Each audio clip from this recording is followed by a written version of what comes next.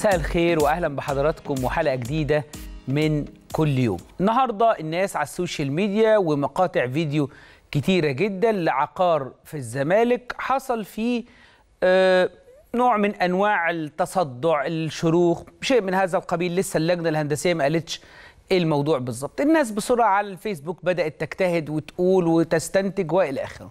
الوقائع زي ما حضراتكم شايفين ده العقار رقم 17 شارع البرازيل آه، بالزمالك.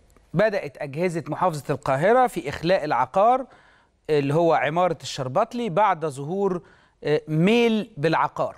يعني الواقع اللي عندنا إنه في ميل في العقار السبب لسه لحد دلوقتي اللجنة الهندسية المفروض تقول وتقرر إخلاء العقار.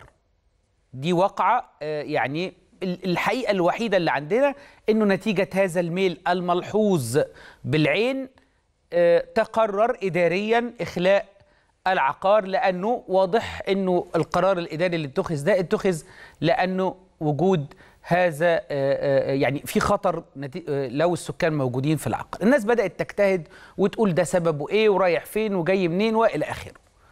الموضوع ده يحكمه القانون. الكلام مش على ال social media. الوزير يحكمه القانون وأصحاب العقار يحكمهم القانون.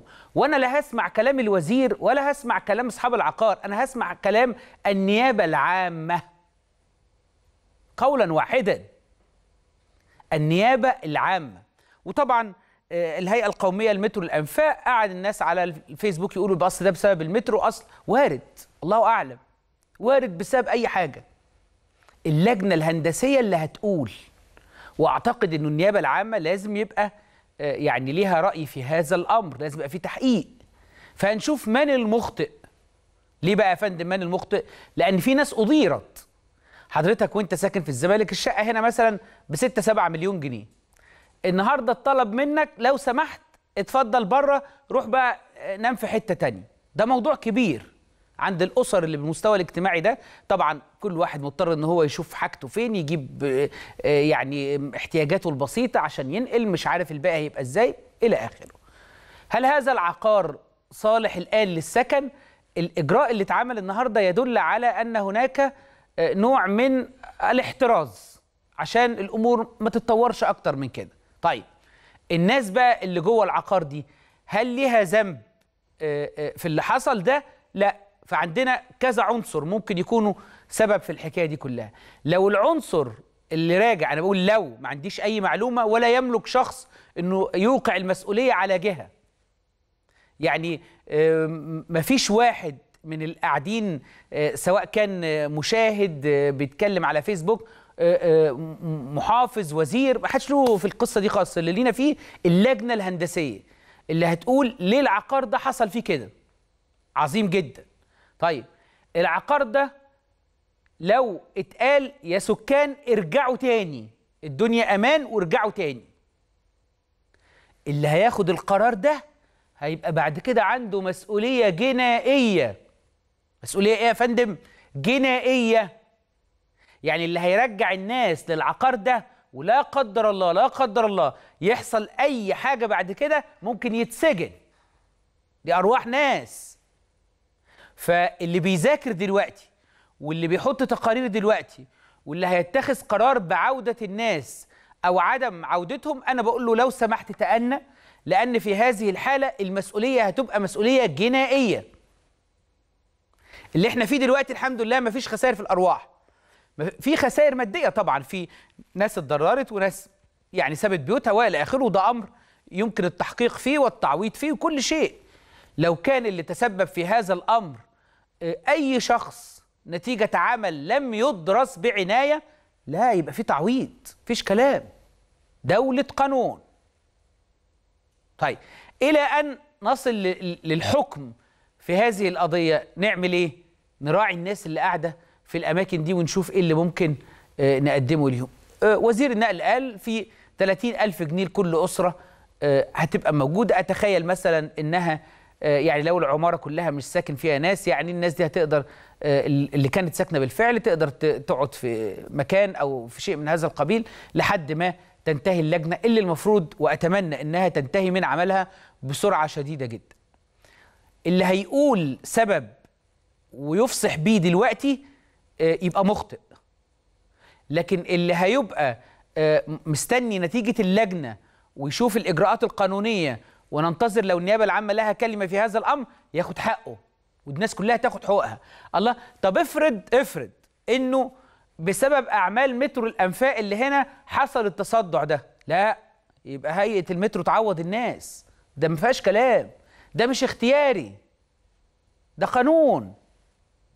لو اللجنة الهندسية وبال- وبالتحديد لو اللجنة كمان دي انتدبت من قبل النيابة العامة قالت والله نتيجة الحفر بتاع مترو الأنفاق حصل كذا وكذا وكذا وكذا.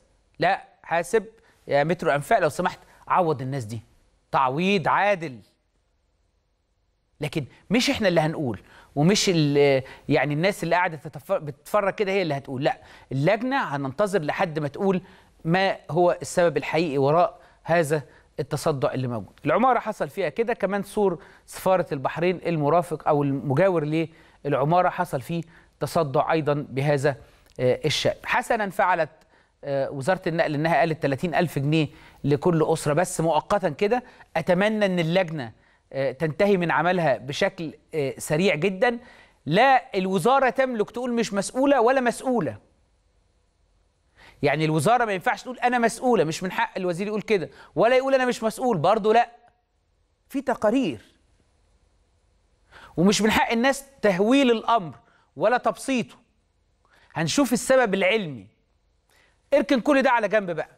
هيجي قرار بعد كده. إخلاء تام للعقار نظرا لخطورته أو رجوع السكان للعقار مرة تانية. القرار ده قرار يترتب عليه مسؤولية جنائية. اللي هيقول للناس وأنا مش عارف مين الحقيقة أعتقد لازم يكون قرار من محافظ القاهرة.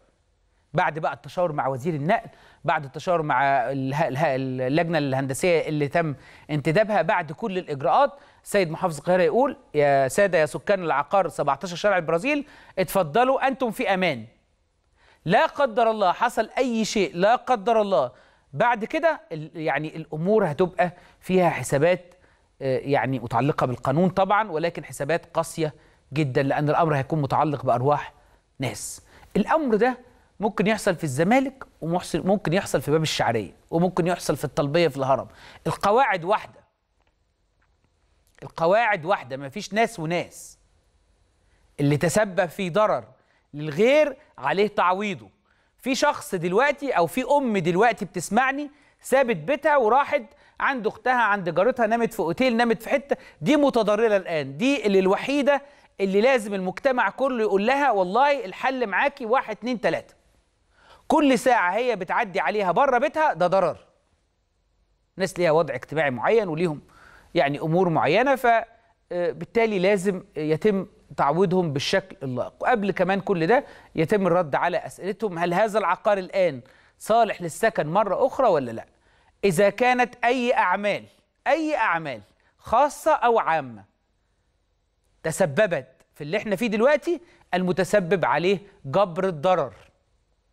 وبالعدل. يعني هتقول له خلاص العقار مش نافع. يقول لك أنا الشقة بتاعتي دي ب 6 مليون جنيه ادهمني. ده عدل. وعلى ما تدهمني من فضلك وفرني سكن بديل. ده عدل. لأنك وف... لو القرار يعني طلع أو اللجنة انتهت لكده تسببت بخطأ أو بدون خطأ أو بقصد أو بدون قصد فإنك يعني وقعت علي آه، هذا الأمر. فالآن نحن في انتظار قرار آه، اللجنة ومحافظ القاهرة قال إنه آه، تشكل لجنة هندسية لمعاينة العقار والعقارات المجاورة لبيان مدى تأثرها وتقديم تقرير بشأن المشكلة. وأوضحت الهيئة القومية للأنفاق بأنه لم يحدث أي نوع من أنواع الانهيارات بعمارة رقم 17 شارع البرازيل بالزمالك ولكن حدث هبوط بسيط بأحد أركان العمارة وهبوط في الساحة الأمامية والسور الخارجي لسفاره دولة البحرين. وقالت إن الهيئة والجهات الاستشارية ومقاول المشروع قد اتخذت كافة الإجراءات الهندسية لتأمين العقار كإجراء وقائي كما تم إخلاء السكان من العقار المذكور وتم تعويضهم ماليا للإقامة البديلة حين الانتهاء من كافة الإجراءات والدراسات والأعمال الهندسية ولحين عودتهم إلى العقار مرة أخرى. ده كلام آه، آه، الهيئة. فإجراء آه، أو حادث حصل بشكل أو بآخر إيه التصرف اللي حصل من الدولة بعد كده؟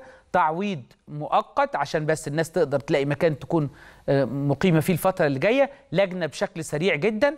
لو القرار رجوع الناس مرة تانية للعقار يبقى آه، أكيد القرار هيدرس بشكل آه، كويس جدا ويتحمل القرار من سيتخذه. مرة تانية هذا الأمر وهذه القواعد تنطبق على أي عقار في أي مكان في مصر. ده القانون وده الإجراءات اللي لازم تتبع في هذا الشأن. النهاردة المصريين شافوا آه، مشهد آه، لمواطن كويتي بيعتدي على عامل مصري في أحد المحلات في الكويت. الأمر ده يا جماعة آه، بيستفزنا. الأمر ده بيضايقنا. أي اعتداء على أي مصري خارج مصر أو حتى داخل مصر بشكل غير مشروع أمر بيبقى فيه غل كده عند المصريين. و... وإحنا اتعودنا على كده ده دمنا ما بيقبلش. لكن بتسأل سؤال. وارد جدا ان يحصل نرفزة بين مصري ومصري مصري وأمريكي بريطاني وإنجليزي وفرنساوي أي حاجة. وارد إنه يحصل. السؤال بقى هل تم أخذ حق الولد اللي تم الاعتداء عليه ولا لا؟ هو ده السؤال اللي أنت لازم تقف عنده. أما عملية الاحتكاك دي ممكن تحصل ليل نهار بين كل الناس. الجرائم بتحصل في حقوق كل الناس لكن التفريط في حقوق الناس هي دي الكارثة بقى. لذلك تم القبض على مواطن كويتي صفع موظفا مصريا في سوبر ماركت ده خبر بقوله لحضراتكم إنه آه، سفيرة وزيرة مكرم آه، آه، آه، وزيرة الدولة للهجرة وشؤون المصريين بالخارج نبيلة مكرم وزيرة الدولة للهجرة وشؤون المصريين بالخارج تواصلت مع السفير هشام عمر عصران قنصل مصر العام بالكويت لمتابعة موقف الشاب وأكدت على تقديرها لسرعة التحرك من قبل القنصلية العامة وكذلك من قبل السلطات الكويتية و يعني السلطات الكويتيه صرحت أنه لا تفريق بين مواطن وغير مواطن والقنصل العام قال أنه تم القبض على المعتدي وتم تسجيل القضية جنحة طبعا وده كلام صحيح قانونا ويتم متابعة القضية. ده أمر محترم جدا من دولة الكويت. وبالمناسبة أنا عايز أقول لحضراتكم حاجة. آه، أنا ترافعت في محاكم دولة الكويت أكتر من 16 مرة. قضاء محترم عندهم نائب عام محترم جدا وعندهم نيابة عامة محترفة وعندهم محاكم آه، يعني راقية جدا.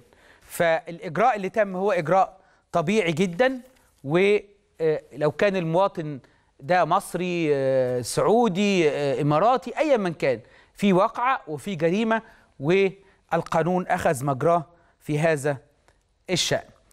خلونا آه، ناخد معايا على الهاتف الأستاذ ناصر العتيبي مدير جمعية صباح الأحمد بالكويت. أستاذ ناصر مساء الخير. مساك الله بالنور. حياك الله أستاذي. أهلا بيك. اولا أنا أنا بشكرك شكرا جزيلا على كل المواقف اللي آه، قمت بها وكل يعني الآراء البناءة اللي آه، بتساعد على تنمية العلاقات الجيدة أصلا فيما بين المصريين والكويت. جزاك الله خير وشيء آه، اول شيء جزاكم الله خير على الاستضافة هذه وأسأل الله لكم التوفيق إن شاء الله طبعا آه، آه، إحنا أنا مداخلتي فقط لن نتكلم عن تفاصيل القضية دام القضية منظورة إن شاء الله صحيح. أو صحيح. وزاره الداخلية عندنا آه، أنا أتكلم من منطلق أن خطاب الكراهية اللي كان مفعل وكان ظاهر على الشاشة هذا لا يمثل آه، الشعبين بشكل عام إحنا يجمعنا أكثر من من من صفة أو أكثر من رابط معاكم أنتم أهلنا وإخواننا ووليد آه، ليس يعني آه، نتكلم معه بصيغة إنه هو مصري أو مقيم أو وافد لا. هو أخ وزميل وصديق و ونعتبره واحد منا وفينا. وإحنا الحمد لله من من قاده الدولة الشيخ صباح الله يحفظه إلى أصغر واحد. هذا ما جبل عليه المجتمع الكويتي. وهذا ما ما تعودنا عليه وهذا ما تربينا عليه بأن المظلوم لا يضام آه، في بلدنا. وإن حدث أي شيء فهي تعتبر حالات شواذ. لها يعني وضعها. إحنا مرينا في أزمة كبيرة أزمة كورونا. آه، يعني استهلكت منا أربع شهور تقريبا. لابد سيكولوجيا نفسية الناس تتغير. لابد أن الوضع النفسي يتغير مع الناس. لكن في المقابل إحنا ما نرضى على أي شخص سواء مصري أو غير أو لبناني أو سوري أو أي مواطن عربي لأن المواطن بمجرد أن يعطى موافقة من قبل وزارتنا يعتبر خلاص منه وفينا. هذه إذا دخل بلدنا لأن هذه من شيم العرب والحمد لله من يعرف مجتمعاتنا أو مجتمعاتكم كلنا. أنا الحمد لله أروح مصر وأزور مصر وألقى كل ترحيب وكل استضافة وكل محبة. فكذلك يعني آه، الوضع في الكويت اللهم لك الحمد. والمصريين اخواننا ولا نقبل على أي أحد منهم. وما يمس الكويتي يمس المصري وما يمس المصري يمس الكويتي. عظيم جدا. هل هل آه، آه، يعني الإجراءات تمت آه، يعني إحنا مش هندخل في تفاصيل بنحترم ده تماما لكن إيه الإجراءات اللي تمت بعد الواقعه الإجراء يعني الروتيني طبعا. كانت الويكند يعني ما ما كان يعني أكثر أو أو أو معلوماتنا إحنا البسيطة. إحنا ناس بسطاء يعني ما ما تعودنا على الأمور هذه.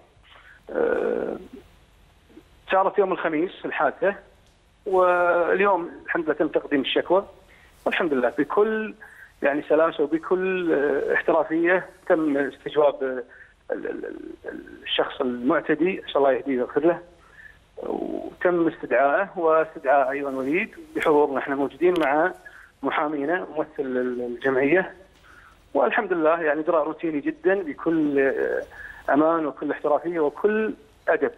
وجزاهم الله خير جميعا. آه، وزارة الداخلية متمثلة بالوزير إلى أقل واحد إن شاء الله. تمام. سيد ناصر أنا بشكر حضرتك. شكرا جزيلا. معنا على الهاتف السفير هشام آه، عصران قنصل مصر في الكويت. سيادة السفير مساء الخير. مساء النور يا فندم. يعني أعتقد إن حضرتك أقدر الناس على شرح هذه الواقعة. إيه اللي تم بالظبط؟ والله هي الواقعة باختصار شديد جدا آه كان آه آه، الوليد ده الشاب المصري مم. ابننا بيشتغل كاشير في جمعية تقدم أحد الناس ب عايزين نقول للناس بس إن. كلمة جمعية في الكويت يعني سوبر ماركت صح كده يا فندم آه طبعا آه, آه. وعشان أوضح بقى عشان الناس تعرف هي كل حي بيبقى فيه الجمعية بتاعته وده أو اللي هي اللي هي السوبر ماركت وده بتبقى منشأة بين- عن طريق مساهمات مالية من سكان الحي. كل واحد ليه أسهم فيها. تمام. وكل واحد ليه أسهم بيبقى ليه رقم حساب كده بحيث انه لما بيشتري بيسجل credit ليه. تمام. فدخل أحد الأشخاص فوليد بيسأله رقم الحساب بتاعك كام؟ فقال له لا أنا ماليش رقم لأن ممكن أي حد مش مساهم برضه بيشتري عادي في آه. السوبر ماركت. فراح بعد كده واحد واقف وراه و... و... يعني قال له طب سجل المشتريات ديت في حسابي أنا رقم كذا بتاعت بتاعت الولد الشخص الأول يعني. فوليد قال له لا قانونا ما ينفعش. قال له لا بقول لك سجله. فوليد قال له أنا ما أقدرش تقدر حضرتك ترجع لرئيس الجمعية. هو اللي بيدي تعليمات وعارف. فيبدو إن الكلام يمكن ما عجبوش أو حاجة فتطاول بإيده على وليد. هو ده اللي حصل. تمام. فلما حصلت الواقعه ديت بهذا الشكل طبعا آه، تدخل الأمن بتاع الجمعية وحاول فصل آه، ابعاد هذا الشخص. والشخص دوت غادر ولكن طبعا رئيس الجمعية كان أخذ خبر فتم استدعاء آه، الشرطة. والشرطة آه، جابت ال- الشخص المعتدي على وليد وأقتيل إلى المخفر. اللي هو قسم البوليس يعني قسم أيوة. الشرطة عشان برضه يبقى الكلام واضح. واتحجز وسجلت ضده قضية جنحة قضية جنحة طبعا. طبعا هتبقى استكمل هذه الإجراءات بالتحقيقات وهكذا القضية تمشي. إحنا كقنصلية في تواصلنا مع وليد أكد لنا إن هو آه، متمسك بحقه وإنه ما تنازلش زي ما في إشاعات بتقول إنه تنازل. واكدنا له إن إحنا معاه في ظهره. وهنوفر له وقت الاحتياج يعني المساعدة القضائية القانونية كمحامي وهكذا. هل يا فندم يعني. هل هل سيادتك تواصلت مع وليد أيوه يا فندم زملاء وكلمت ناس وأكثر من شخص تواصلنا معاه و... وكل كله قبل قبل الفيديو ده ما يطلع حتى اللي, آه. انتشر على ال social media يعني إحنا يعني القنصليه عرفت يعني. إزاي يا فندم أيوه يا فندم. القنصلية عرفت إزاي؟ القنصليه القنصلية عرفت من أحد ال- المصريين اللي بيشتغلوا برضه هناك. مم. فورا يعني. وتحركتم حتى قبل انتشار الفيديو على ال social media. قبل ما يطلع الفيديو قبل ما نعرف إن في فيديو طالع. حركنا يا فندم طبعا. تمام. سياده السفير يعني فرصة إن حضرتك معانا تعطي رسالة آه، يعني فيها طمأنة لأنه أكيد حضرتك شفت كيف صارت لا، هقول الإجراءات القانونية؟ هقول. لحضرتك حاجة. بص هقول لحضرتك حاجة. بص هو هو طبعا القانون هياخد مجرى رئيس رئيس الجمعية تضامن مع وليد وأعلن إن هو مستقيل من حدث زي دوت. حدث مش سهل إنه لا يقبل طبعا بالاعتداء على وليد أو أي حد يعني بيشتغل موقف محترم جدا. موقف محترم جدا ومقدر للأستاذ ناصر العتيبي. مم. وحتى الأمر خلاص دلوقتي دخل في دايرة القضاء صحيح القانون والقانون هياخد مجراه عادي مم. ه- هل ممكن يا فندم يعني كنوع من التضامن المعنوي وده قانونا يجوز وفقا لاتفاقية فيينا إن القنصل العام يكون موجود ويشارك وليد حتى يعني تضامنا معنويا لكن قانونا يجوز يا- لسيادتك يا الحضور يا معاه يا يعني. سيدي إحنا إحنا مشاركين وليد بس حتى لما يبدأ التحقيقات يعني إحنا ما ما ما عرفناش بموعد التحقيق هيبدأ رسميا إمتى؟ لما التحقيق يبدا والكلام ده كله. وطبعا إحنا إحنا متضامنين وموجودين مع وليد في أي حاجة. وبعدين ما عندناش شك في عداله القضاء الكويتي. صحيح. القضية هنا قضية كبيرة. يعني ما, ما, ما فيش سوابق خذلتنا في القضاء صحيح. الكويتي يعني. صحيح. سيادة السفير موقف محترم جدا من القنصليه وأكيد الجالية المصرية كلها في الكويت قدرت هذا الموقف. بشكر سيادتك. شكراً شكرا جزيلا سيادة السفير هشام عصران. قنصل عام مصر في دولة الكويت. دي رسالة واضحة وصريحة جدا.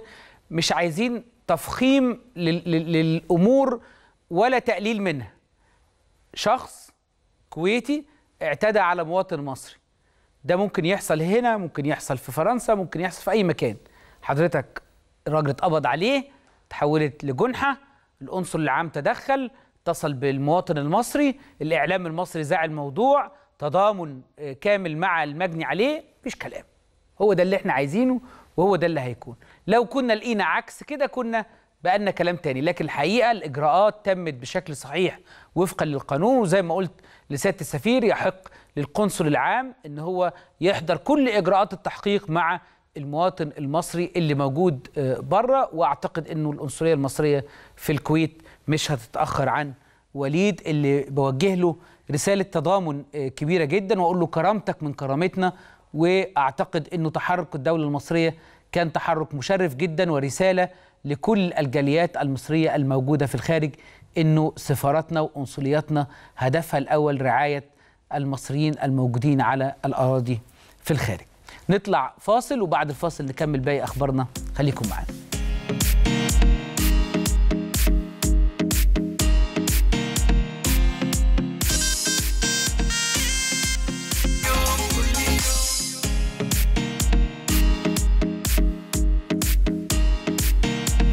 وزير وسكان. هنا الفيصل النيابة. يعني السؤال ليه مثلا مش محافظة القاهرة اللي راحت دفعت ال 30 ألف جنيه؟ الوزير تصدى شيء كويس ومحترم. مش معنى كده إنه بيلقي المسؤولية على نفسه ما قلناش كده ابدا. لكن مش هينفع أصدق و- و- ومواطنين. الحكم ما بينهم لازم يكون القضاء. القضاء. لذلك أنا بأناشد بكل أدب النيابة العامة إنه آه، مش هنسمع كلام حد هنسمع كلام النيابة العامة. اللجنة دي تنتدب من قبل النيابة العامة وتعمل تقريرها ويقدم للسيد النائب العام عشان يبقى فيه آه، مش كلام بقى لا حكومة ولا أفراد لا لا لا لا لا كلام محققين كلام دولة قانون.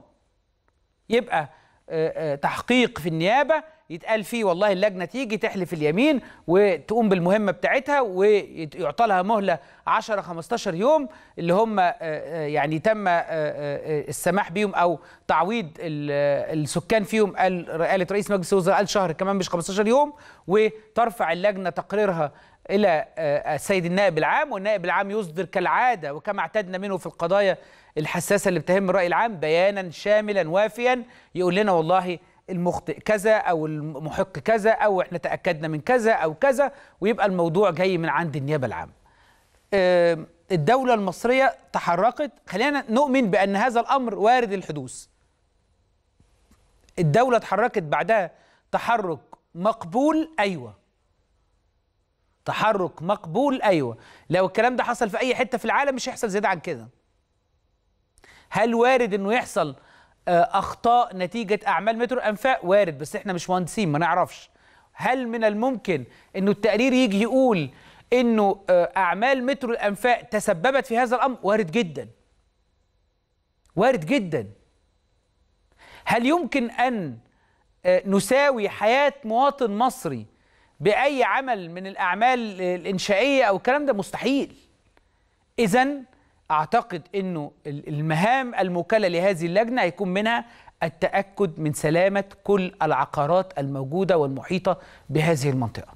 أرجوكم اطمنوا الناس آه، يعني تم آه، تعويضهم بس الفترة المؤقتة دي لمدة شهر. عشان يقدروا يكونوا في مكان لائق يليق بهم. وبعد كده سننتظر التقرير الفني الهندسي اللي وقتها هنقف ونتكلم ونقول لكل الناس نقول للحكومة ونقول للمحافظة ونقول للسكان ونقول لكل الناس الحق أحق أن يتبع. هنروح وهنستنى وهنشوف إيه اللي ممكن آه، يعني يقولوا التقرير. وعلى ضوء التقرير هنبتدي نتخذ آه، كل واحد فينا ياخد آه، موقف يناسب آه، يعني اللي حصل ويعوض المتضررين.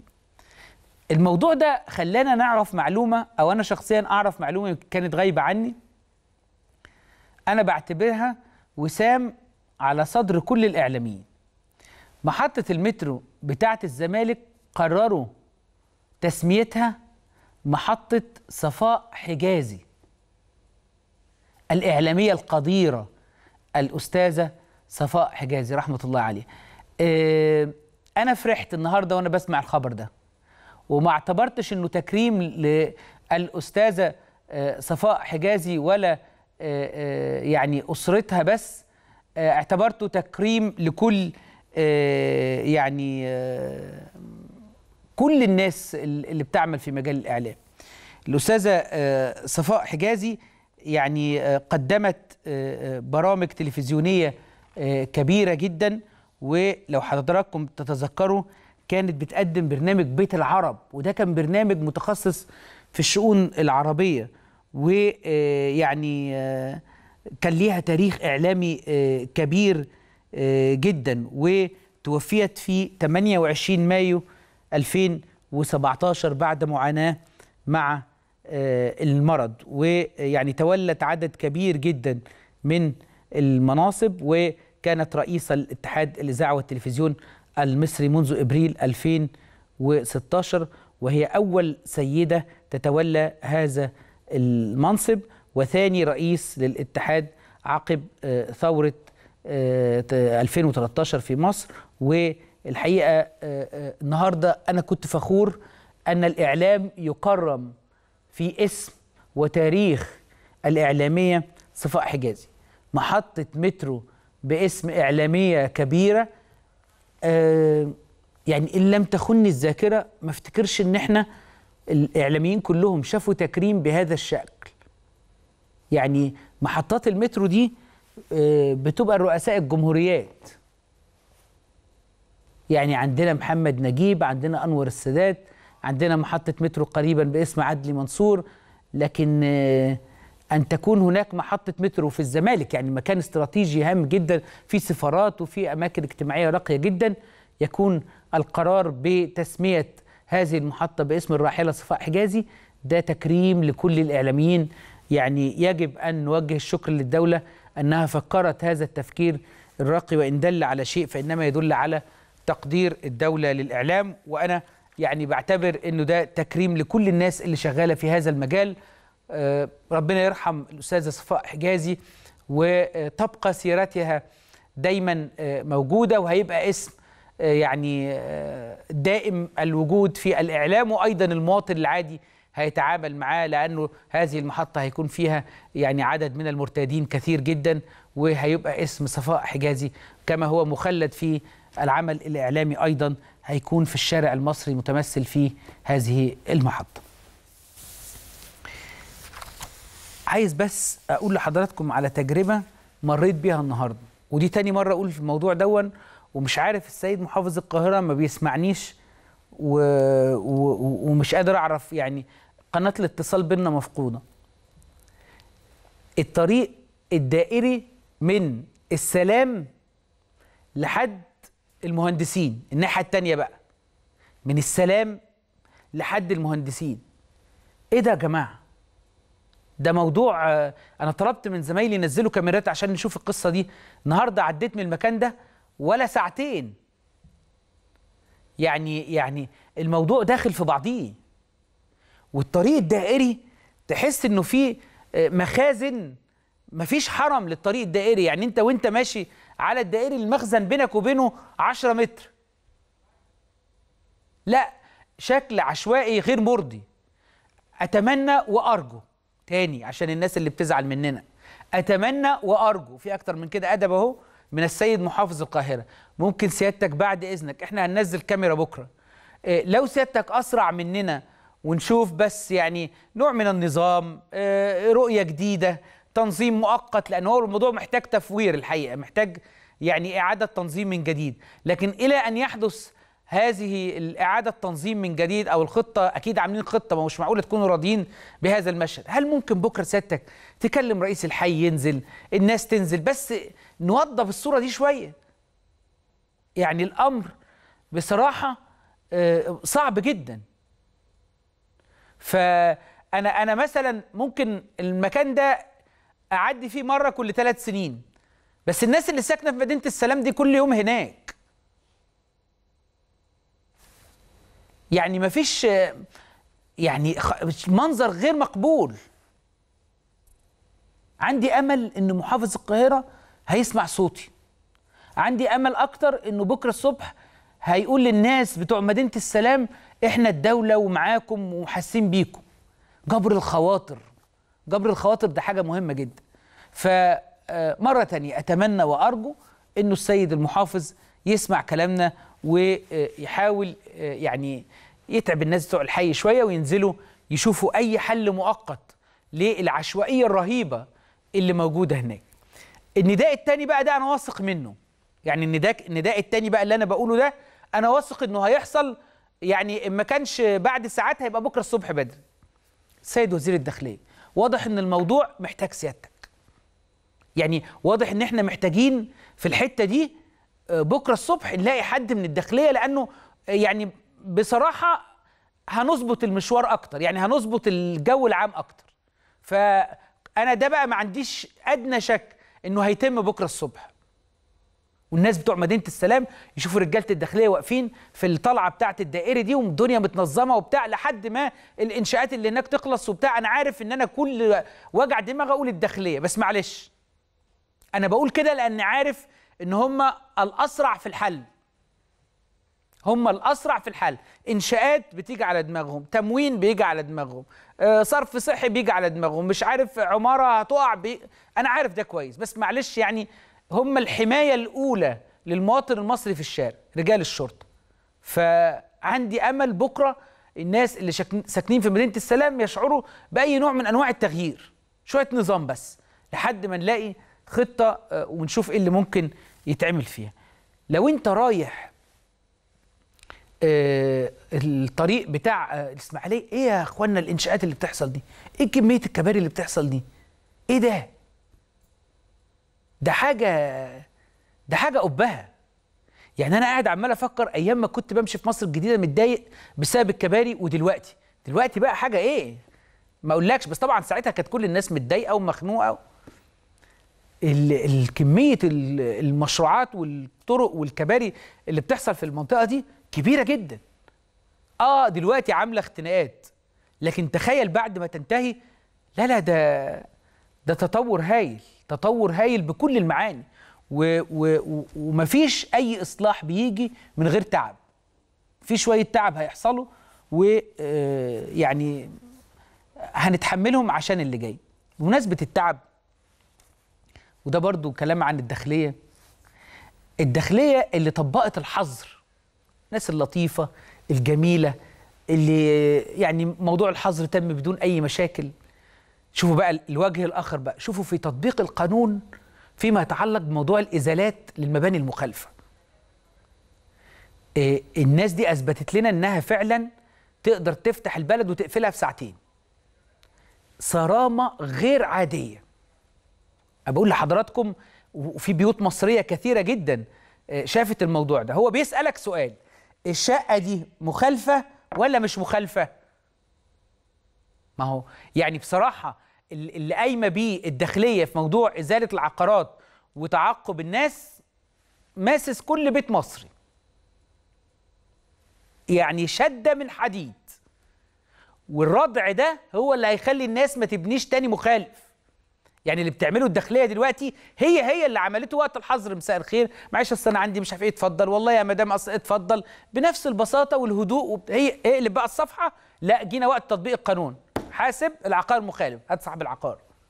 ادينا لك فرصة للتصالح حب مش عارف إيه. لا هنقبض عليك. شادين شده غير طبيعية. بنسأل سؤال واحد عشان إحنا واقفين مع القانون في أي وقت. مخالف ولا مش مخالف؟ مخالف خلاص أنا آسف مش هقدر أقف معاك هقف مع الداخلية لأنها بتنفذ القانون. هم قصدي الشو يعني في شدة حبتين في تطبيق القانون في الحتة دي بس عاملة ردع عاملة آه، حالة آه، هتخلي الناس تخلي بالها كتير قوي بعد كده. وأعتقد إنه الأحياء وده دور مهم جدا هيبقى عندها أو أتخيل يعني نموذج بعد كده يا فندم أنا رايح أشتري في العقار 17 شارع أحمد فؤاد. حضرتك تقدر تشتري لأن العقار ده ست ادوار ومرخص وصاحبه اسمه فلان والرخصة باسمه فلان. اتفضل أنا الحي بقول لك اشتري.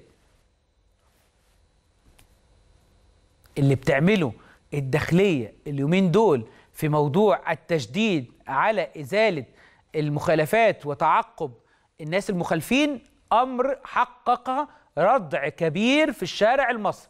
شديد حبتين. أنا ما أقدرش أقول غير إنه شديد حبتين ثلاثة كمان. لكن بصراحة عامل آه، آه، آه، ضبط وربط بشكل غير عادي. واضح إن الطريقة دي الموجعة المؤلمة بتحل. يعني طبعا في ناس آه، متضررة كتير بس هو بيقول لك أصل أنا هربان دل... أنت هربان ليه يا عم؟ أصل أنا بنيت من غير ترخيص، طب أنا قلت لك ابني من غير ترخيص. يقول لك بقى لي خمس أيام ما نمتش في البيت، يعني آه، طب أقول لك إيه؟ ما تبنيش من غير ترخيص وبات في البيت. بيقول لك أصل الداخلية كل شوية يبعتوا لي واحد يجيبني عشان مش عارف إيه وبتاع، طب ليه ده ده ظلم ولا إيه؟ يقول لك لا لا أصل عندي دورين مخالفين، طب نعمل إيه طيب؟ هو القانون كده. اللي كان قبل كده ده كان سلطة. اللي كان بيحصل في الأحياء والكلام اللي إحنا بنسمعه والناس بقى طبعا عارفة المخالفات كان شكلها عامل إزاي كان سيبان مصر قررت تصلح بجد. هذا الإصلاح موجع. هذا الإصلاح قاسي. لكن قرار بإرادة سياسية كبيرة جدا لا رجعة فيها. واللي يشوف فيكم معادلة الدولة المصرية اليومين دول يعرف كويس جدا إنه كلام رئيس الجمهورية بيصل لحد أصغر أمين شرطة وأصغر موظف في حي. بيبقى حاطط في باله إنه لازم التزام لازم تمام يا فندم. فطريقة هي اللي نجحت وهي اللي مشيت وهي خارج كل المعادلات بقى. يعني مثلا زي ما قلت لحضراتكم قبل كده داخلين على انتخابات شيوخ ولازم ترضي الشارع المصري. كان عرف بلدنا كده من 20 سنة. ولو في غرامات تتشال وصهين على دي شوية واللي عايز يبني مش عارف إيه وعشان المرشحين دول يفوز. لا لا لا لا, لا. مفيش الكلام ده. ده جاي قبل انتخابات الشورى ب 10 15 يوم ومشمع الدنيا. ده مش في السياسة ده في الإصلاح. حضرتك عايز تتكلم سياسة و... والشعبية والمش عارف إيه وبتاع. لا لا لا ولا فارق ولا الدولة دي باصة للكلام ده خالص. الدولة دي عاملة زي القطر. مفيش حاجة هتقف قصادها فيما يتعلق بالتنمية. بيبقى الرئيس قاعد في اجتماع وليبيا والدنيا واسد اثيوبيا والدنيا مش عارف إيه وتلاقيه عامل اجتماع بعد كده بيتحدث مع وكيل وزارة في خطة لمدة 20 سنة جاية. ده أمر واضح إنه بقى منهج الحكم في مصر. فخلوا بالكم. آه، شفنا قضا- قضايا كتيرة جدا آه، قعدت في أمراض مزمنة آه، لم يجرؤ أحد على فتحها. لكن إحنا فتحناها اليومين دول. فتحناها من سنين السنتين ثلاثة اللي فاتوا. الناس ال- اللي بتبص على حال البلد دلوقتي أرجوكم آه، انظروا بعدل. لو الدولة دي بتيجي عليك لأنك راجل ملتزم بالقانون والله العظيم أنا أقف معاك من هنا ل 20 سنة قدام. لكن الدولة بتيجي على اللي خد حق الدولة. بس إحنا تكون جوانا إنه عرف كده إنه إنه ده حلال إنه ده عادي إنه أنا ببني باخد رخصة بستة واضرب لي ثلاثة فوقيهم وبعد كده أعمل مقايسة للكهرباء ومق... يعني عرف اتعودنا عليه. إن الجراج أعمله كده وبعدين اجروا محلات. خلاص. قررنا أن نخلق دولة بلا أخطاء قانونية بلا أخطاء في حق أنفسنا. وكلام بيني وبين حضراتكم لو 100 رئيس و100 حكومة والشعب مش عايز يلتزم مش هينجحوا. لو جبنا 100 رئيس و100 حكومة و100 وزير داخلية عشان يخلي الشعب يلتزم والشعب من جوه مش عايز يلتزم محدش هينجح. دي بلد بتاعتنا إحنا. دي بلد إحنا اللي عايشين فيها إحنا واولادنا قرار التزامك بالقانون بعد كده أرجو ما يكونش خوفا من وزير الداخلية. أرجو إنه يكون حرصا منك على البلد. ده اللي إحنا نتمناه. وبرضه للاحتياط الداخلية موجودة لكل الناس اللي بتفكر إنها تخالف القانون مرة تانية. نطلع فاصل بعده نكمل باقي أخبارنا في كل يوم. خليكم معانا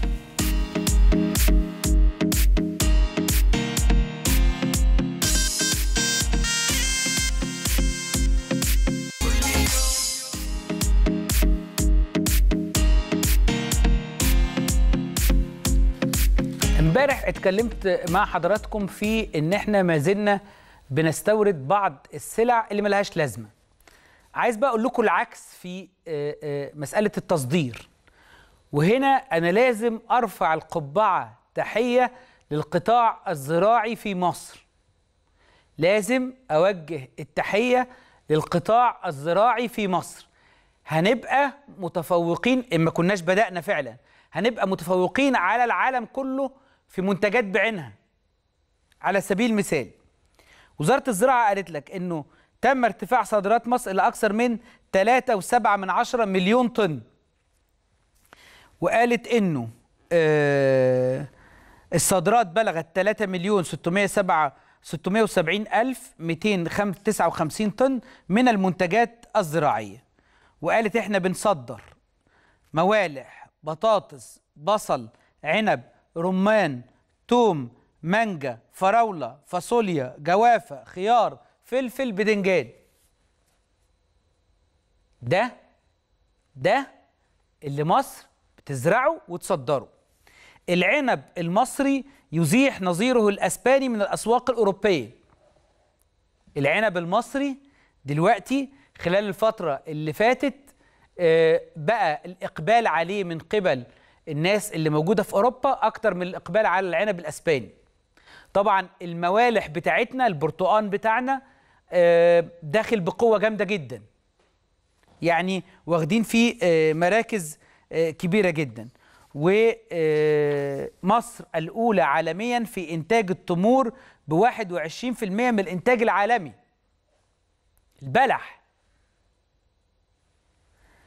نشر مركز معلومات مجلس الوزراء إنفوجراف أوضح من خلاله أن مصر الأولى عالميا في إنتاج التمور حيث تنتج حوالي 21% من الإنتاج العالمي. يا نهار أبيض. واحد وسبعة من عشرة مليون طن في السنة. دي حاجة محترمة جدا. ماذا يمكن أن نفعل كي ننمي موضوع الإنتاج الزراعي؟ ده إحنا إحنا طالعين إلى العالمية رايحين كأس العالم بتاع الإنتاج الزراعي. فأعتقد إنه أمر مشرف جدا. زي ما امبارح اتكلمنا على موضوع الاستيراد والأزمات بتاعة الاستيراد والحاجات دي كلها. عندي أمل إن إحنا نفكر تاني وتالت ونشوف إيه الحاجات اللي ملهاش لازمة وبنستوردها ونوقفها. لكن لما تقول لي مصر الأولى في التمور العنب متفوقين فيه صدرنا 3.7 من 10 مليون طن لازم هنا تجب التحية للقطاع الزراعي في مصر ووزارة الزراعة وكل الناس اللي بتعمل في آه، مجال الإنتاج الزراعي لأنه بصراحة أمر آه، غير إنه مفيد ماديا كمان للبلد لكن كمان مشرف آه، جدا. خلونا نعرف رأي الناس اللي بتدرس الناس اللي بتقرأ في العلوم. شايفين الأوضاع في مصر إزاي آه، برؤية موضوعية. في آه، ناس وظيفتها التحليل.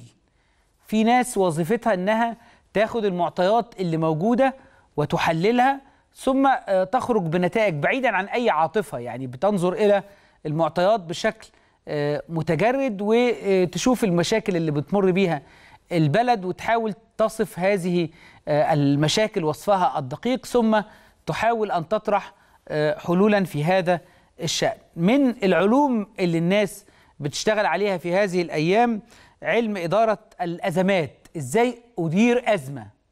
طيب يا ترى إيه هي الأزمات اللي بيتم رصدها وتبقى صارخة في هذا التوقيت؟ وكيف ندير هذه الأزمات؟ معي على الهاتف الخبير الاستراتيجي الأستاذ محمد أبو المكارم من دولة الإمارات وهو خبير الأزمات الدو- الدولية والتخطيط الاستراتيجي. أستاذ محمد مساء الخير. مساء النور أستاذ خالد. تحياتي لحضرتك ولكل المشاهدين. أهلا بيك يا فندم. الحقيقة. يهمني أعرف آه، دور الدراسات في هذا الأمر. ما هي أهم القضايا اللي أنت شايفها في مصر تحتاج إلى دراسة وكيف ندير أزمة آه، آه، متعلقة بهذه القضايا إن إن إن يعني إن إن تم طرحها بشكل ينطبق عليه علم دراسة إدارة الأزمة أول أساس بنعتمد عليه في إدارة الأزمات هو التخطيط بالسيناريوهات المستقبلية استشراف الأزمات والكشف المبكر عنها من خلال أنظمة الإنذار المبكر والتعرف على الأزمات المحتملة قبل حدوثها. من هنا بيكون دور العمل المتخصص للقيادة والإدارة اللي بتشتغل بشكل فيه قدرة وإدارة سياسية فاعلة ومعاصرة لحوكمة القرارات الصادرة عن الدولة للتحكم في مسارات القرارات الإدارية والإجراءات والقوانين والتشريعات وحزمة الإجراءات الكاملة للتعامل مع الأزمات في حال حدوثها أو ترقب حدوثها. لو هناخد مثال على كده نتعامل مع آه، بداية عندنا مجموعة من التحديات الاستراتيجية من فترة طويلة بدأت مع مرحلة ما يسمى بالربيع العربي والانتقالات الكبيرة التي تعرضت لها مصر في الفترة القديمة وأكثر من آه، تحدي استراتيجي بتواجهه مصر في الفترة الأخيرة. هناخد مثال مثلا أزمة ليبيا. هنكتشف إن القيادة المصرية كان عندها استشراف بانورامي لوضع آه، الأمن الاستراتيجي على الحدود الغربية مع دولة ليبيا الشقيقة وعندها قدرة على التعامل مع آه، الكشف المبكر عن التهديدات الأمنية المصاحبه لتحركات الجماعات الإسلامية أو ما يسمى بجماعات الإسلام السياسي في عمق المنطقة الغربية آه، على الحدود الغربية في آه، ليبيا وتحركات بعض مخابرات الدول المعادية بدعم هذه الجماعات آه، التابعه لجماعات الإسلام السياسي والتحركات الإرهابية والمرتزقة والميليشيا والدعم والمساندة بالسلاح والمعلومات للسيطرة على أماكن التمركز الخاصة آه، أو التابعة للجيش الوطني الليبي. من هنا بدأت القيادة المصرية على آه، عمل آه، مجموعة من السيناريوهات للتعامل مع احتمالات تطور الوضع بداية من آه، أكثر من آه، سنتين وتعاملت مع الموضوع بشكل فيه احترافية عالية جدا جدا لكل آه، مرحلة من تطورات الوضع الاجراء المناسب ليها باتزان وبعقلانية شديدة جدا. وإلى الآن منذ أن أعلن سعادة الرئيس السيسي عن شد الخط الأحمر أمام جميع القوات الموجودة في ليبيا لم نجد من يستطيع أن يتجاوز هذا هذا الخط الأحمر بسبب قدرة القيادة المصرية على فرض سياسة الواقع داخل وخارج الحدود المصرية. طب خلينا ننتقل لقضية زي قضية سد النهضة آه، القراءة آه، آه، الواقعية لمعطيات هذه القضية بتقول إيه وكيف تدار هذه الأزمة عملية إدارة أزمة سد النهضة بتؤكد لنا جميعا إن القيادة المصرية تستطيع أن تتعامل بحاكمية الإدارة في التعامل مع الأمن الاستراتيجي لملف الأمن المائي لمصر في آه، موضوع سد النهر. لما نتكلم عن آه، تعاملات آه، إثيوبيا المتعنتة وتحركاتها المتعنتة في عمليات التفاوض السياسي التي تمت منذ فترة طويلة وما زالت مستمرة نكتشف إن القيادة المصرية عندها قرار ثابت وهيكل ثابت للأبعاد الاستراتيجية للتعامل مع الأزمة. هنكتشف إن الإدارة المصرية تستطيع أن تدير الأزمة عن طريق التعامل مع مراكز القوى الدولية التي تساند وتدعم إثيوبيا في ملف تطورات أزمة سد النهضة وملء خزان السد نكتشف إن القدرة الكبيرة جدا للدبلوماسية المصرية على إدارة عمليات التفاوض السياسي قادرة إلى الآن على التعامل مع الإدارة آه، الخاصة بإثيوبيا في أزمة سد النهضة. طب الناس بتتكلم عن إيه السيناريوهات القادمة؟ العلم بقى بيقول إيه في إدارة هذه الأزمة؟ إيه السيناريوهات التي يمكن توقعها في هذه القضية إحنا عندنا ثلاث سيناريوهات لإدارة الأزمة الخاصة بملف سد النهضه. إحنا حاليا في سيناريو الأزمة الزاحفة. الأزمة في آه، مرحلة ملء المرحلة الأولى من خزان سد النهضة وهي مرحلة آه، إحنا كنا متوقعينها وندرك جيدا جدا إن إثيوبيا هتستفيد من موسم الأمطار الغزيرة لملء آه، الخزان. عندنا تحركات على أرض الواقع في المرحلة القادمة لإعلان الرئيس السيسي الذي أعلن من خلال القمة الإفريقية على ضرورة جدوله اتفاق ثلاثي بين مصر وإثيوبيا والسودان للتأكد من آه، معطيات آه، التعامل مع المرحلة القادمة في ملء خزان سد النهضة وفق آه، المعايير والمطالبات الخاصة بمصر والسودان في آه، أزمة آه، سد النهضة. لو تطور الموقف لأكثر من كده ما زال عند الدبلوماسية المصرية العديد من الأدوات والأوراق للضغط دوليا عن طريق مجموعات من القوى الدولية لتفكيك نقط القوى التي ترتكز عليها إثيوبيا في الضغط السياسي على مصر. في نفس التوقيت مصر تستطيع عن طريق القوة آه، الدولية والمكانة الدولية التي تتمتع بها أن تقوم بعمليات كبيرة جدا جدا للضغط الدولي من خلال آه، مجموعات القوى التي ترتكز عليها إثيوبيا في التعنت في التفاوضات التي تسير في آه، الطريق آه، ال- ال- الشروط والمطالبات الخاصة بمصر في عملية سد النهضة. مم. لو توقعنا بعض الناس تتحدث عن ضرورة الخيار العسكري كحل نهائي أو حاسم لأزمة سد النهضه. وهنا ما يسمى بخلق أزمات وليس إدارة الأزمات، وما. شفناه واللي إحنا شاهدناه خلال الفترة الماضية أن القيادة المصرية تستطيع حل الأزمات وليس صناعة أزمات جديدة. فلو إحنا استعجلنا آه، الحلول السياسية وحلول التفاوض السياسي ولجأنا للخيارات العسكرية. اذا إحنا صنعنا أزمة لسنا في حاجة ليها وكلنا نعلم وندرك جيدا أن القدرة المصرية للتعامل مع آه، كل ما يهدد الأمن الاستراتيجي لمصر في الداخل والخارج قادرة على تغيير المشهد بين يوم وليلة. فهو قرار يستطيع آه، ال- الجيش المصري أن يتخذه تستطيع القيادة المصرية أن تحققه على أرض الواقع ولكننا ما زلنا لسنا في حاجة ليه.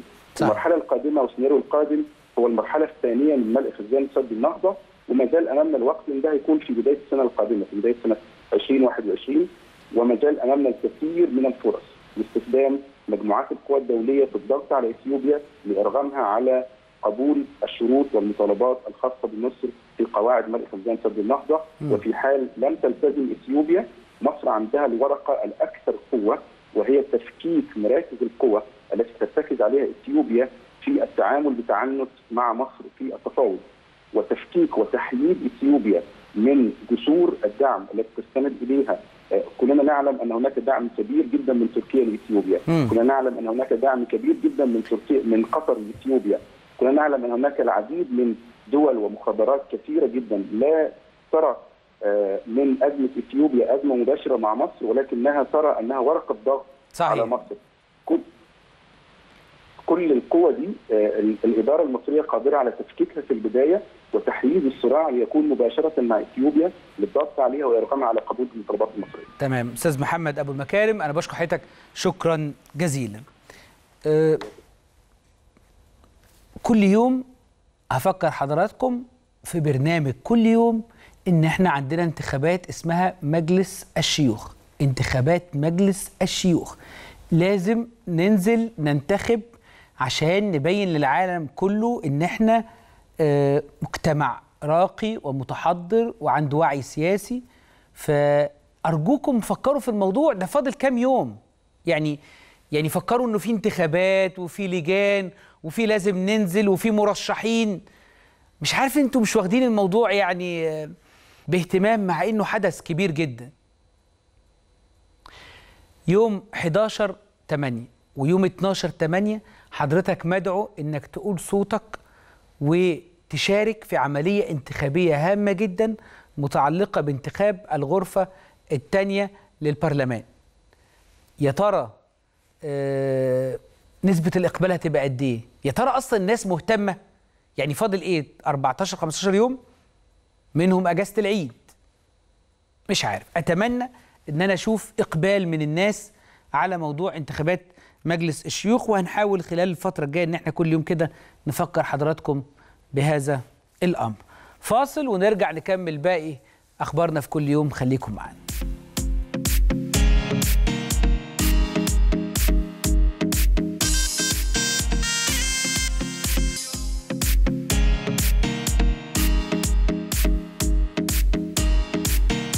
لو أنا عاوز أشتري شقة ومعيش غير مقدم بسيط أو عايز جهة تمول لي آه، تمن الشقة دي.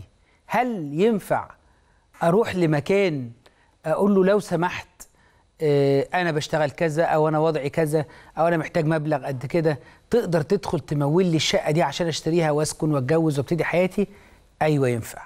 عندنا في مصر آه، صندوق الإسكان الاجتماعي ودعم التمويل العقاري. إيه الحدوتة وإيه الموضوع؟ ببساطة شديدة جدا عشان الناس كلها آه، تسمعنا. أنا معايا على الهاتف دلوقتي المهندسة مي عبد الحميد الرئيس التنفيذي لصندوق الإسكان الاجتماعي ودعم التمويل العقاري. مش مهندسه مي مساء الخير.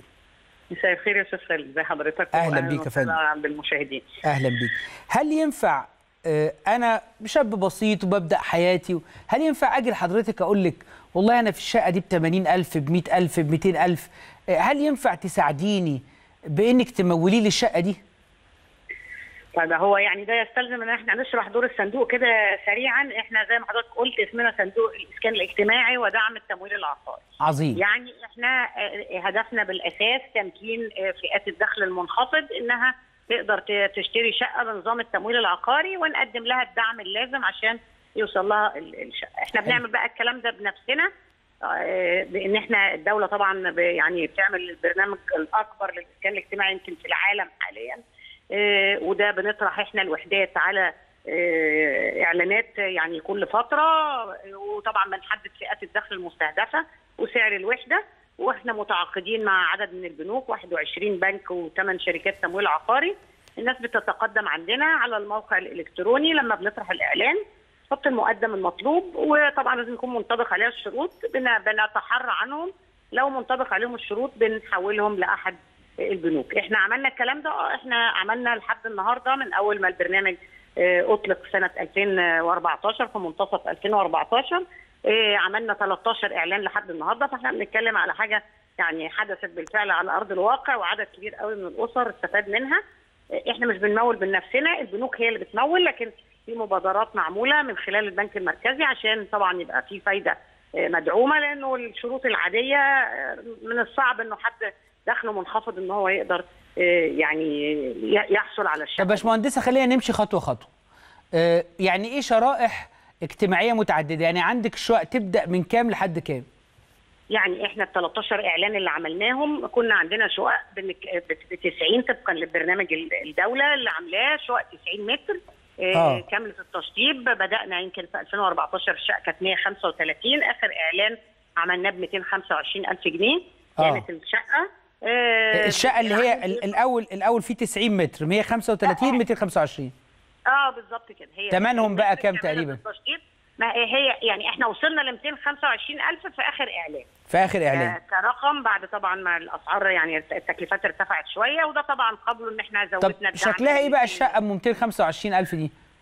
ثلاث غرف وصالة كاملة التشطيب مطبخ آه، حمام آه، في مدينة جديدة في الأغلب أو في المحافظات. آه، طبعا يعني إحنا مش كمان مش بنقدم شقة فقط لا إحنا يعني آه، خدمات كل الخدمات بتبقى متاحة. يعني حضرتك هتديهاني متشطبة أحط المفتاح وأحط الفرش وأسكن؟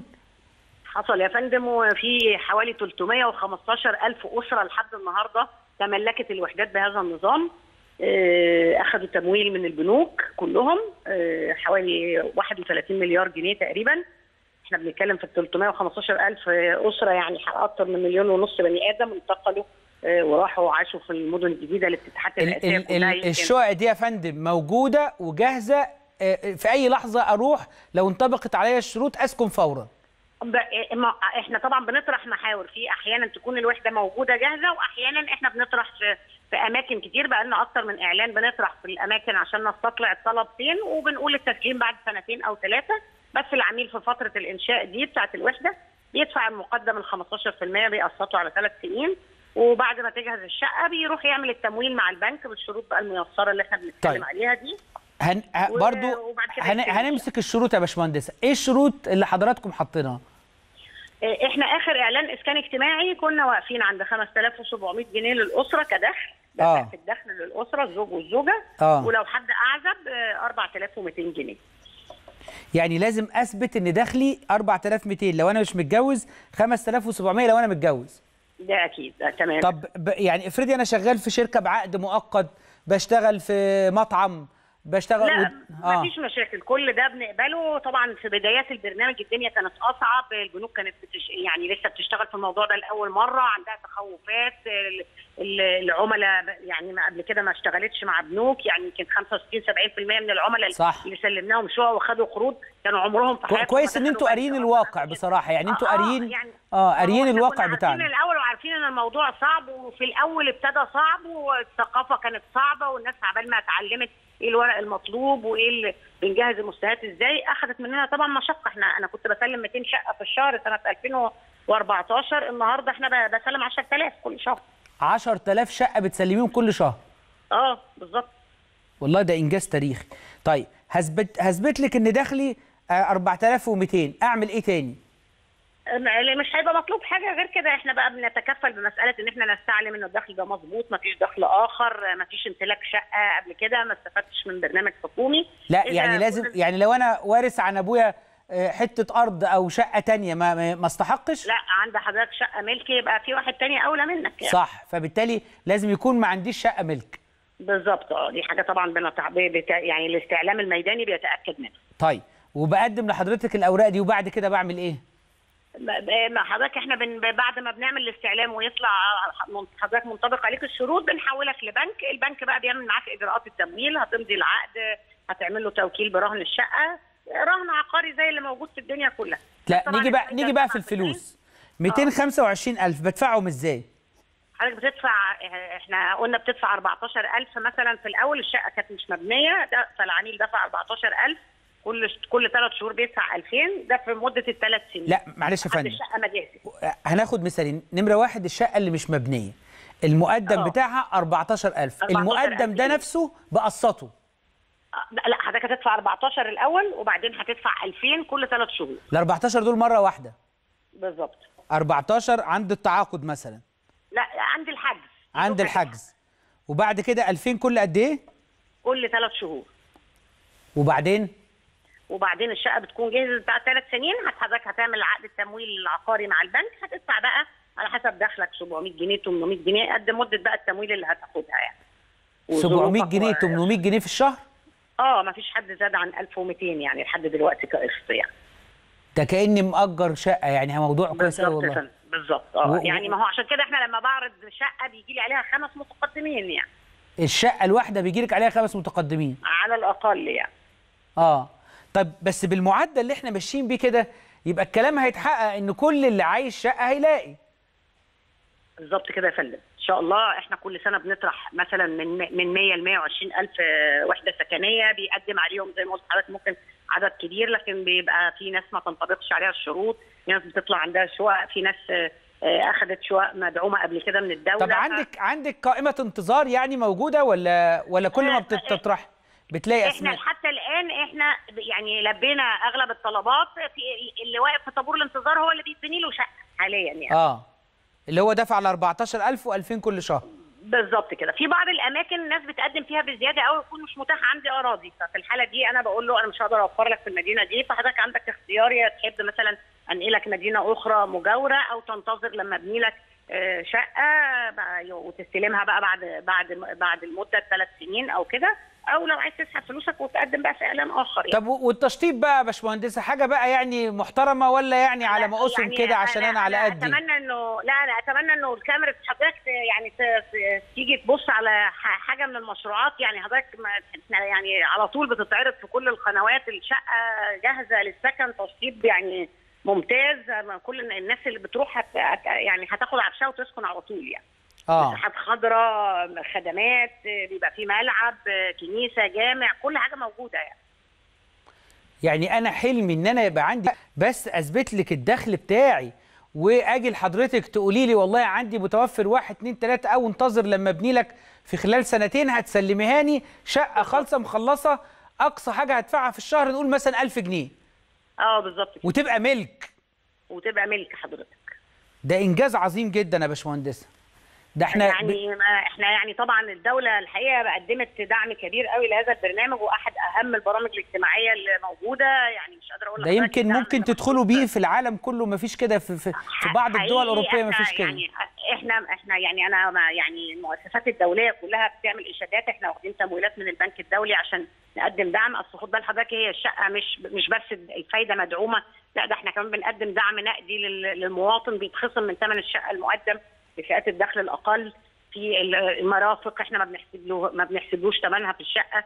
الأرض ما ب- الانتفاع بيها ما بنحسبلوش طبعا ثمنها. 225000 أكيد ثمن يعني بسيط. ما في يعني هي ما, ما تتكلفش أقل من 500 600 ألف يعني. وب- وتقريبا أقصى مدة للتمويل العقاري قد إيه؟ 20 20 سنة. 20 سنة. آه بس طبعا في فايدة بقى على ال 225 ما هو بقى دي المبادرات اللي يعني اللي الدولة برضو إحنا كنا حريصين على إنها تتعمل من الأول عشان الفايدة السائدة العادية 17 18% هتبقى معوق يعني. آه. هتبقى هتبقى غالية قوي والقسط هيبقى كبير يعني. ف- فدعم الفايدة للمواطن الواحد بس حوالي 115 أو 120 ألف جنيه في الفايدة يعني. أنا باشمهندسة بشكرك وبقول لك آه، وكل فريق العمل اللي بيعملوا معاكي أنتوا بتعملوا تاريخ جديد لواقع مرير إحنا عشناه لسنوات طويلة فاتت آه، بتحولوه لمستقبل جميل جدا. تخيلي كم الأسر اللي سكنت قد إيه يعني آه، غيرت حياتهم وأصبح عايش في شقة ملكه بهذا المستوى. أنا بشكرك وبشكر كل القائمين على هذا العمل المحترم الراقي. نشكر حضرتك يا فندم ويعني إن شاء الله نتطلع إن إحنا نلبي طموحات ناس أكتر. إحنا حاليا طار- طارحين إعلان إسكان متوسط كمان. لفئات بقى الدخل الأعلى شوية اللي هي الوحدات اللي اسمها سكن مصر ودار مصر ده دار مصر و- دي ده أنا بشوف ال- ده في واحد هنا في أكتوبر يا فندم أنا بعتبر الشقة مثلا تسوى 2 مليون جنيه. حقيقي. لا لا دي دي راقية جدا ومواقع محترمة قوي.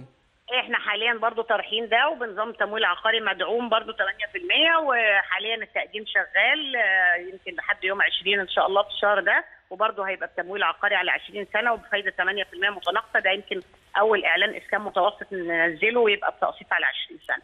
تحيا مصر مصر يا باشمهندس بشكرك. شكرا والله جزيلا. تحيا مصر آه، ألف مرة. شكرا جزيلا. فاكرين فيلم كراكون في الشارع؟ فاكرين لما كانوا بيتكلموا على أزمة السكن؟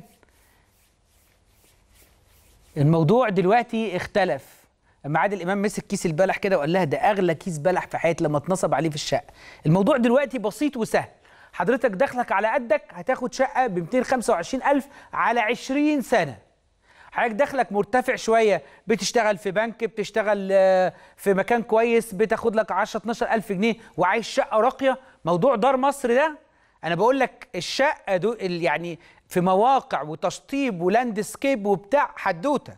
compound صغير كده اسمه دار مصر. وبتضرب المفتاح وتسكن. يبدو أننا في 2020 قد تخلصنا من أزمة السكن في مصر. خبر يمكن لو كنت قلته لكم من 15 سنة كنتوا إيه قعدتوا قلتوا طب إزاي وليه وإمتى؟ الواقع طب إحنا مش بنجامل يعني هنجامل أنفسنا إحنا اللي عملنا الكلام ده. المصريين هم اللي عملوا كل ده. في 2020 يبدو من الحاجات اللي إحنا بنسمعها حوالينا كده إن إحنا تخلصنا من فكرة أزمة السكن في مصر. وعد رئيس الدولة أن يكون هناك شقة لكل مواطن وعد حقيقي وملموس وعلى الأرض. بقول لك من عشر سنين كنت كان ممكن تقول ده حلم. دخلك بسيط دخلك متوسط هتلاقي. مين اللي عمل كده يا أولاد المصريين. مين اللي أنجز الإنجازات دي يا أولاد المصريين. لماذا تحب الرئيس السيسي وتقف خلفه؟ لأنه يعمل. طب لو ما كانش بيعمل أنا بقف جنب بلدي. طب لو ما كنتش شفت الإنجاز ده آسف أنا مش هتنازل على المستوى ده بعد كده. هو ده الشغل. هو ده الإنجاز الحقيقي. هو ده ال- الناس اللي بتحب بلدها بجد. إكرام المصريين الحفاظ على كرامة المصريين في السكن الآمن. مفيش إنجاز أهم من هذا الإنجاز كل ده اللي عملوه آه، المصريين. إنجاز بسيط بس كده سريع عشان خالد سليم عمال يقول لي ضيعنا الوقت والوقت مش عارف هو واقف لي على موضوع الوقت ده. أغنى مصري في العالم اسمه ناصف ساويرس. أغلى مصري أغنى مصري في العالم اسمه رجل اعمال ناصف ساويرس. هو مش هتلاقيه في التلفزيونات كتير ولا بتاع صور ولا تويتر ولا فيسبوك ولا أي حاجة. هو الوحيد في العيلة دي في آه، آه، المهندس نجيب ساويرس المهندس آه، سميح ساويرس والمهندس ناصف ساويرس. ده أعلى حاجة في الأرقام في مصر أعلى مصري عنده فلوس. تمام كده؟ ماشي. لا بتاع تصوير ولا أي حاجة واللي يعرفه منكم راجل بسيط جدا لبسه بسيط وحالته بسيطة بيحب الكورة و... ويعني آه، ودود جدا جدا مش بتاع آه، مشاغبات ولا بتاع حوارات ولا أي حاجة خالص بتاع business. business business بقى مش مش تهريج يعني. اشترى نادي النادي ده فيه اتنين لعيبة مصريين بيلعبوا وأصبح هذا النادي الآن جزء أساسي من الدوري الإنجليزي. يعني خلاص دوري الدرجة الأولى الإنجليزي مفيش نزول بقى مش هينزل بقى. فخر مصري حلو. مشروع استثماري كبير جدا. يعني يعني هو بصوا الذكاء بقى هو هوايته الكورة. إيه، خلى الهواية دي تجيب فلوس. وفي نفس الوقت يتقال إنه أول نادي يملكه مصري في الدوري الإنجليزي. برافو ناصف ساويرس. برافو ال ساويرس عملتوا آه، جون في إنجلترا لصالح مصر. وبالمناسبة تريزيجيه جاب جون تريزيجيه الأهلاوي. أنتوا عارفين الأهلي دايما في كل حتة يعني هو اللي جاب جون الماتش اللي فات هو اللي فرق مع آه، أستون فيلا عشان يفضل موجود في الدوري. وجابوا جابوا يعني جاب جون حلو كمان. يبقى ناصف ساويرس جاب جون لمصر. وبقى عندنا مصري عنده فريق في الدوري الإنجليزي وعندنا لعيبة الأهلي زي ما أنتم عارفين كالعادة هم اللي بيخلصوا في أي وقت. بفرح لما ألاقي هذا النوع من الإنجازات. رجال الاعمال المصريين آه، هم سفراء لمصر في الخارج. آه، ناصف ساويرس من الناس بتاعت البيزنس وبس. ما عندوش كلام تاني. وحتى لما تقعد تتكلم معاه هو قليل الكلام مش راجل بشوش كده وظريف جدا ويعني بسيط بسيط. ده أغنى مصري موجود على الأرض. مبروك للمصريين مبروك لآل ساويرس وإن شاء الله تستمر احتفالاتنا العالمية بهذا الشكل. بشكركم شكرا جزيلا. دي كانت حلقتنا النهارده من كل يوم. بكرة إن شاء الله حلقة جديدة. خليكم معنا